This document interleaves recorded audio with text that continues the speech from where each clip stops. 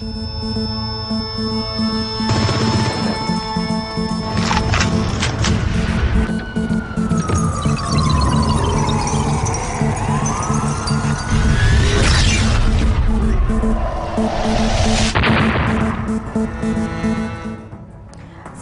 kejahatan pasti meninggalkan jejak karena tak ada kejahatan yang terjadi dengan sempurna. Selamat siang pemirsa, selama 30 menit ke depan saya, Kenia Gusneni, akan mengantarkan beragam berita kriminal dengan tajam dan berimbang sebagai bagian dari kampanye menumpas kejahatan dalam Turn Back Crime.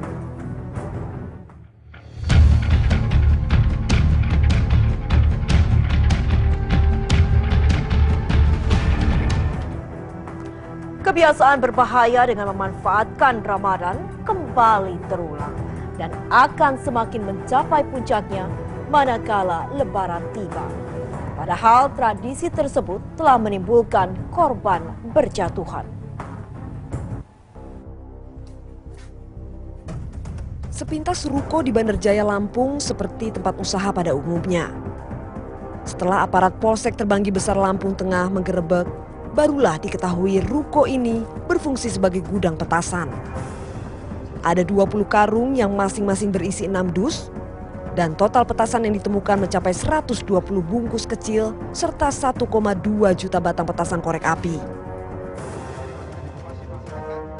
Tadi pagi bahwa ada tempat tepatnya di samping Masjid Istiqlal. Kita kita langsung datang ke TKP, kita cek, kita temukan 20 karung yang berisikan mercon. Petasan ini rencananya akan dijual ke seluruh daerah di Lampung selama bulan suci Ramadan. Pemilik gudang petasan hingga kini buron. Sesungguhnya, larangan petasan diatur dalam Undang-Undang Darurat Nomor 12 Tahun 1951 serta Pasal 187 KUHP tentang bahan peledak. Pembuat, penjual, penyimpan, maupun pengangkut petasan terancam hukuman 12 tahun penjara.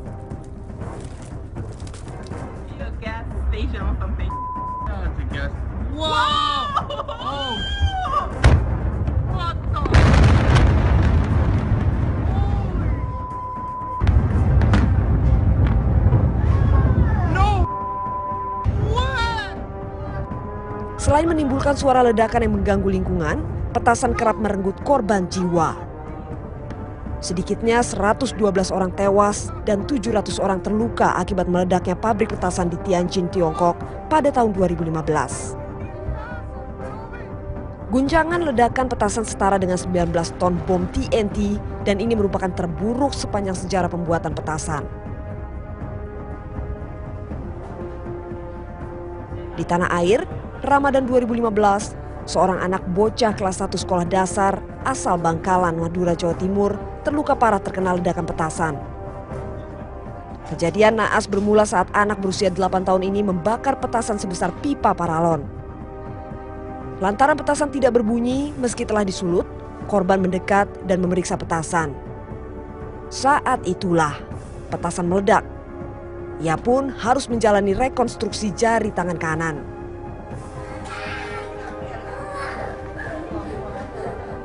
Seminggu sebelumnya di Madiun, Jawa Timur, ZPI 31 tahun kritis karena ledakan petasan. Saat itu korban tengah bermain petasan dengan ayahnya menunggu waktu berbuka puas tiba. Naas, petasan yang dinyalakan tiba-tiba meloncat dan melukai perut korban. Mukanya berada di bawah kulit epidermis sehingga nyawa korban tertolong. Lalu di Pekanbaru, Riau, kematian APD 5 tahun akibat petasan diratapi orang tuanya. Petaka terjadi ketika korban bersama temannya bermain petasan yang dimasukkan ke dalam kaleng. Malang baginya, kaleng terpental mengenai leher korban dan mengakibatkan luka parah sehingga membuat nyawanya melayang.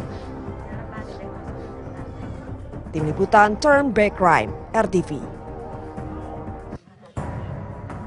Insiden mematikan akibat petasan juga terjadi di Pamekasan, Jawa Timur, Kamis lalu. Dua balita menjadi korban saat rumah orang tuanya yang berfungsi sebagai tempat produksi mercon meledak.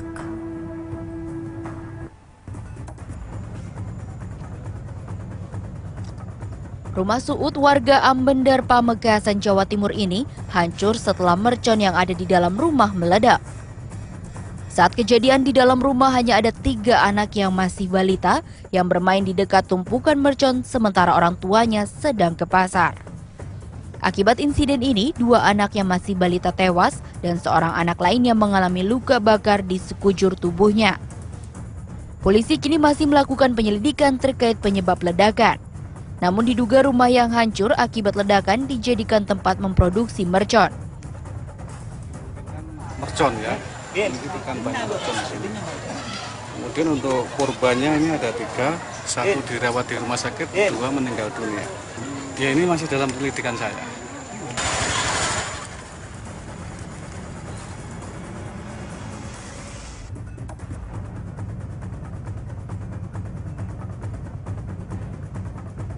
Ledakan petasan juga memakan korban di Gorontalo.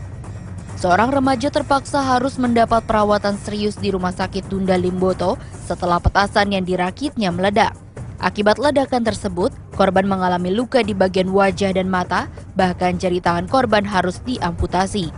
Dari Surabaya, Jawa Timur dan Gorontalo, Solihul Hadi dan Melki Gani, RTV.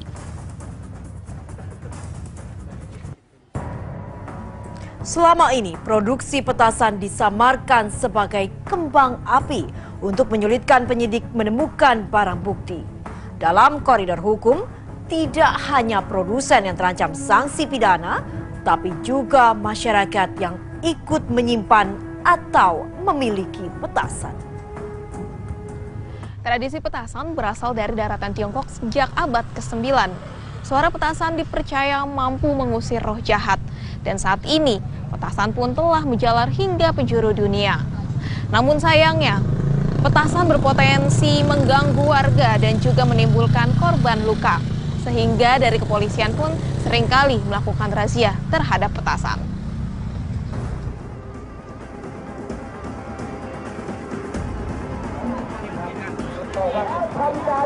rentan bahaya. Namun petasan tetap dijadikan permainan untuk memicu adrenalin oleh sebagian orang. Dalam video yang kami unduh dari situs YouTube, belasan orang menyulut sumbu petasan gasing. Gerakan memutar yang terjadi akibat dorongan dari ledakan petasan membuat gasing meluncur bebas ke angkasa.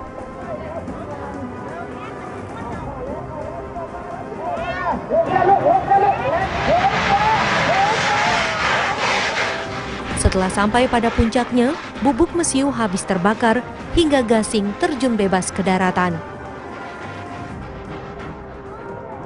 Puluhan warga bersorak-sorai menyaksikan.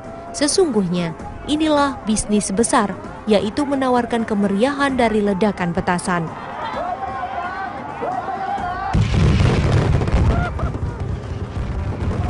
Dalam setahun, petasan bernilai besar dibakar Bahkan ada kalanya harus diwarnai ketegangan seperti terjadi di negara Ukraina. Petasan yang disulut justru meledak ke segala arah. Selain menimbulkan asap tebal, petasan juga mengeluarkan percikan api disertai suara ledakan keras.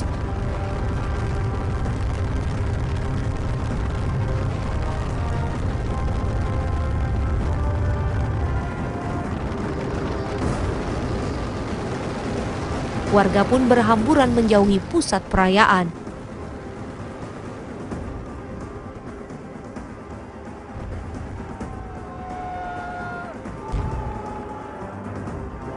Di Jakarta, sejumlah lokasi menjadi pusat perdagangan petasan. Para pedagang pintar mengemas jualan mereka. Petasan yang terlarang dijual belikan sengaja ditutupi. Yang dipampang di bagian depan adalah kembang api. Dengan begitu, saat dirazia, para pedagang terlepas dari jerat hukum. Padahal para pedagang siap menawarkan berbagai petasan, dari petasan injak, happy flower atau petasan banting, hingga petasan kulit. Beragam petasan bervariasi pula harganya. Petasan dijual mulai dari Rp2.000 hingga Rp30.000.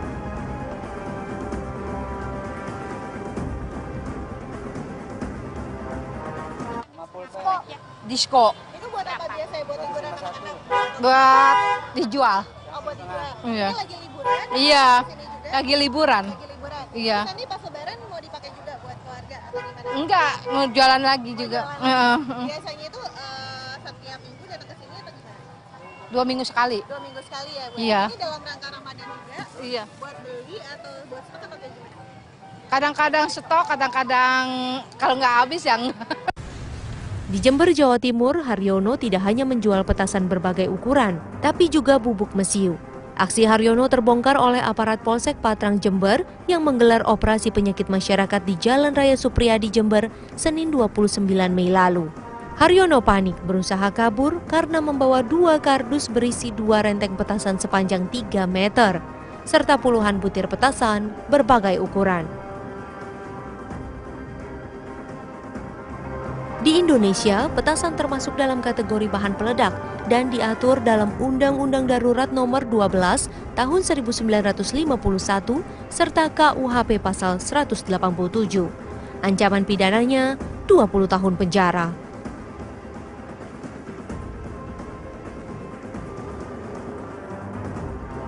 Dalam beberapa kasus, produksi petasan mengakibatkan kerusakan, bahkan menelan korban. Dalam video di situs YouTube, terlihat petugas pemadam kebakaran berusaha memadamkan api. Namun bukannya padam, api kian membesar bahkan menyulut petasan dan kembang api yang ada di dalam gudang. Di kota sekecil Bojonegoro, Jawa Timur saja, omset pedagang petasan mencapai 1 juta rupiah per hari.